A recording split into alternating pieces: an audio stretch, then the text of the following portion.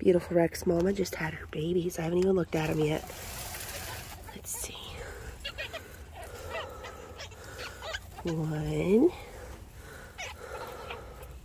two, three, four, five, six, seven, eight, nine, nine.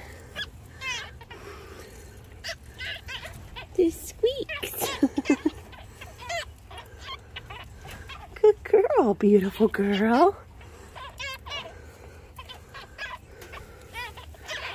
These big, fat, chunky babies. Aww.